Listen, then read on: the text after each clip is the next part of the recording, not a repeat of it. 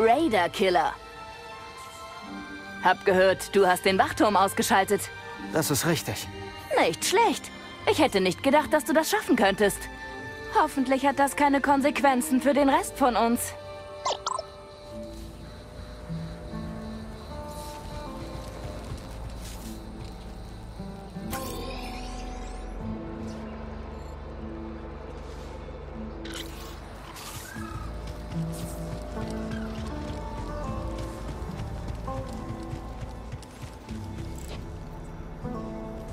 Hi, du Störenfried. Hattet ihr zwei schon Begegnungen mit den Raiders? Das würden sie nicht wagen. Wir begegnen ohnehin kaum jemandem. Aber es ist furchtbar, was sie mit dem Außenposten gemacht haben. Ich hasse es, dass sie immer wieder unsere Schrotthaufen durchwühlen. Ich hasse es, dass sie immer schreien. Seit Monaten hattest du keinen Schönheitsschlaf mehr. Und dein letzter muss mindestens ein paar hundert Zyklen her sein.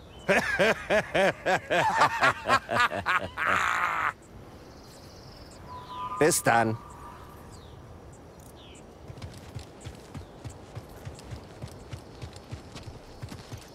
Oh, du bist's. Du bist der Neue, stimmt's? Tut mir leid, das habe ich nicht gehört. Sag das nochmal. Ich habe nichts gesagt. Das muss dieses Läuten in meinen Ohren sein. Neulich hat mir eine Rollmine fast den Schädel weggerissen. Die aus dem Gebäude im Tal? Ha? Genau. Das haben wir uns bereits angesehen. Freut mich für dich. Wenn nur dieses Klingeln in meinen Ohren aufhören würde. Ha? Was hast du gesagt? Ich muss gehen. Gute Besserung.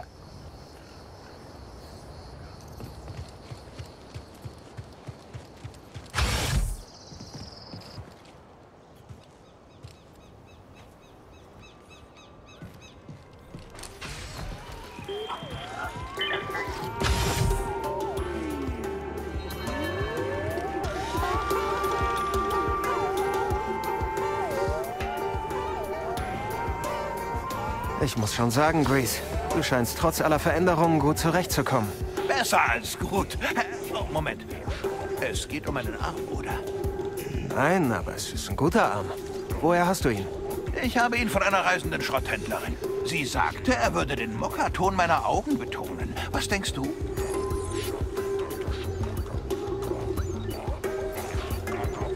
Betont definitiv den Mokkaton. Oh ja. Bezaubernd, oder? Alles okay, Grease? Nicht jetzt, Kleiner. Ich habe das Gefühl, Monk hat aus dem Pylons insgeheim das Monks gemacht. Er versucht, hinter meinem Rücken aus meinem Meisterwerk sein Meisterwerk zu machen. Wie auch immer. Ich muss herausfinden, was er verändert hat. Ob er etwas verändert hat. Was braucht es, um ein guter Barkeeper zu sein? Oh, das Übliche. Die Fähigkeit zum Multitasking, ein gutes Gedächtnis, Redegewandtheit und natürlich muss man auch wissen, wie man Drinks mixt. Je besser die Drinks, desto zufriedener die Gäste und das heißt natürlich, desto gesprächiger werden sie. Und je mehr sie reden, desto mehr erfahre ich darüber, wie sie ticken. Klingt ein bisschen... Manipulativ? Möglich. Aber ich höre ja nur, was sie freiwillig von sich geben.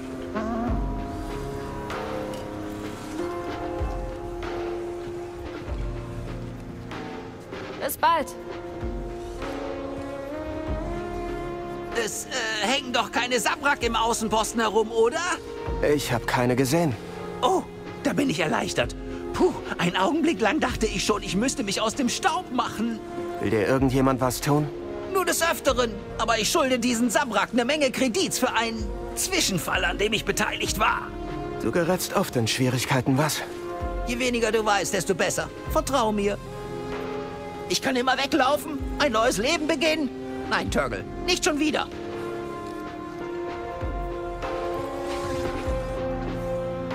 Du wirkst hier drinnen anders, Kerl. Wie das? Du bist definitiv entspannter. Stimmt wohl. Grease hat hier gute Arbeit geleistet. Fühlt sich an wie zu Hause. Grease. ich glaube, ich habe noch nie einen Latero wie ihn getroffen. Das äh, sollte ein Kompliment sein. Viel Glück da draußen.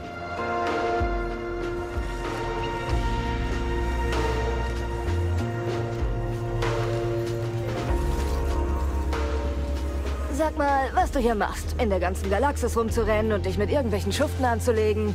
Was bringt dir das? Es ist ein besserer Zeitvertreib, als mich in einer Kantine zu betrinken. Da irrst du dich, Kumpel.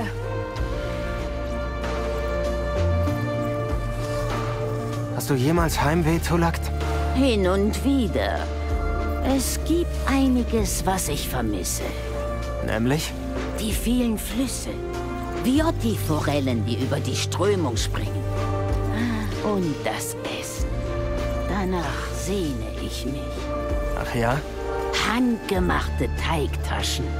Gefüllt mit Potato und Kuschnip. Ich vermisse das Aroma von Banzon, einem Minzgewürz, das jede Geschmacksknospe anregt. Du solltest mit Grease reden. Vielleicht kann er etwas herbeizaubern, das dich an zu Hause erinnert. Ein kluger Vorschlag, Umherziehender. Umherziehender.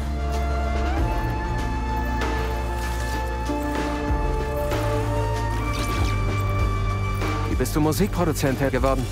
Ich wurde auf Riosa geboren, im Inner Rim. Davon habe ich gehört. Viel Schwerindustrie.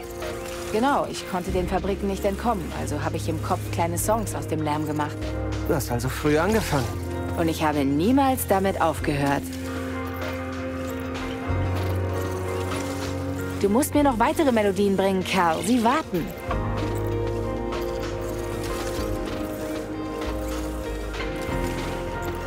Ziemlich gute Auswahl.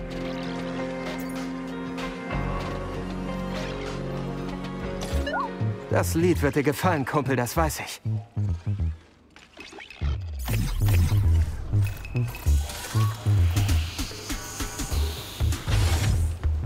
Das hören, Kerl. Wie findest du's hier? Ganz ordentlich. Durchaus Potenzial. Ja, nun, alles hat Potenzial, wenn man die Augen nur fest genug zukneift. Was denkst du? Du verbringst hier ziemlich viel Zeit. Was ich denke? Lass es mich dir Punkt für Punkt zeigen. Dieser Ort verstößt gegen etwa zwei Dutzend grundlegende Geschäftspraktiken, setzt fröhlich auf falsche Werbeversprechen und ist voller Schimmel, den ich nicht zu untersuchen wage. Und dennoch, hier gibt es Drinks und sie machen nicht zu, wenn die Bedlam Raiders uns einen Besuch abstatten. Das kann man von keinem anderen Laden auf diesem Felsen behaupten. Wir reden später, ja?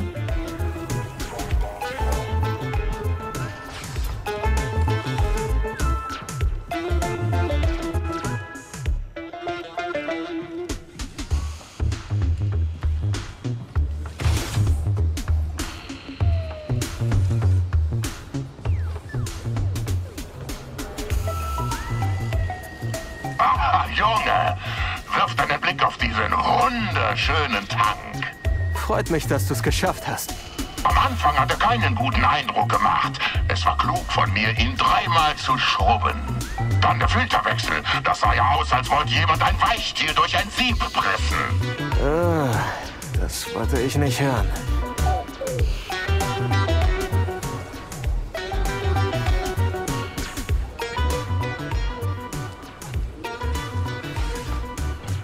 Wir plaudern später. Wie ist deine Akademie? Oh, sie ist erstaunlich. Jedes Gebäude wird teilweise von Repulsoren in der Luft gehalten. Das ganze Areal sieht aus, als würde es über dem Boden schweben. Richtig magisch. Klingt nach einem Ort, den man nicht so leicht verlässt. Stimmt. Aber die Dinge änderten sich. Früher sah man von oben nichts als die Natur. Jetzt ist der Boden mit Ferrobeton bedeckt. Alles Teil einer imperialen Kontrollzone. Wir reden nachher. Keine Zeit zu reden.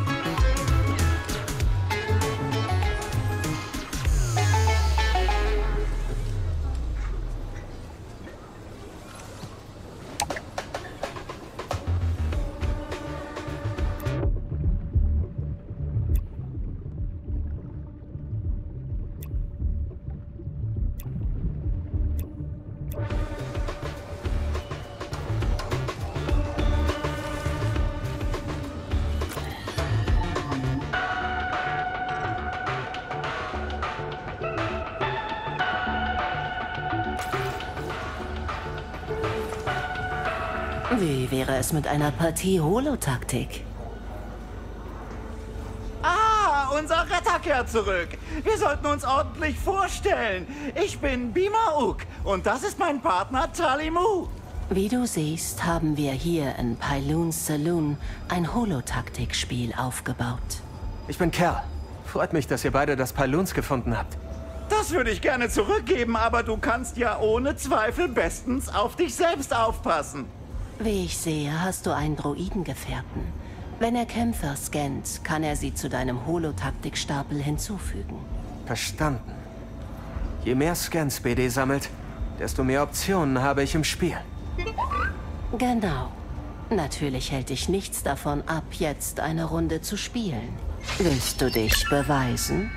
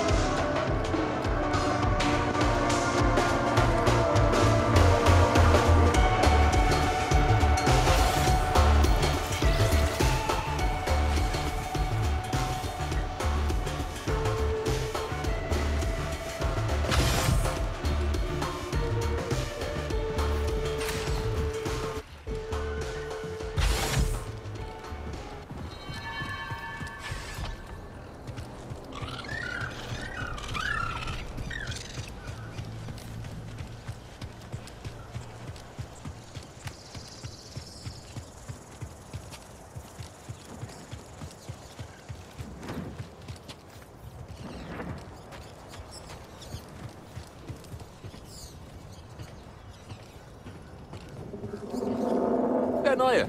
Hallo. Hallo zurück. Wenn du einen Ausblick suchst, solltest du zur Oberkante der Schlucht gehen. Ist es die Mühe wert? Keine Ahnung. War noch nie dort. Zu steil zum Klettern.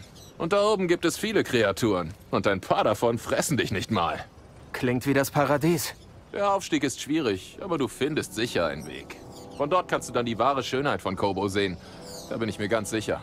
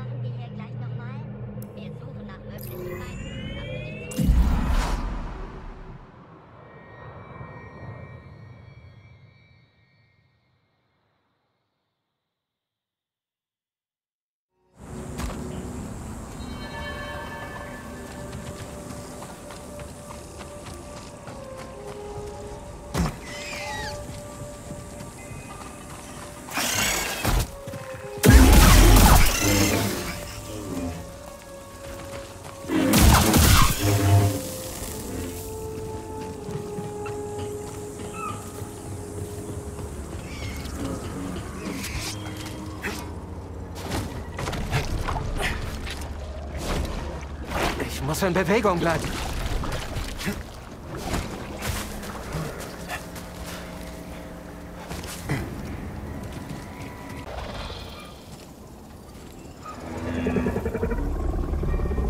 Ich kann hier kein Reittier rufen.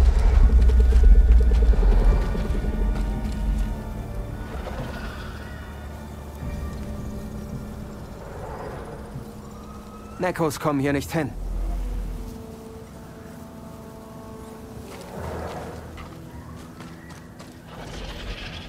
Ein Reittier kommt hier nicht hin.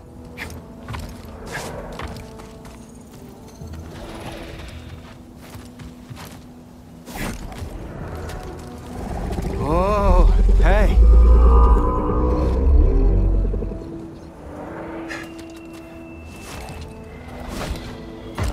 Danke fürs Mitnehmen.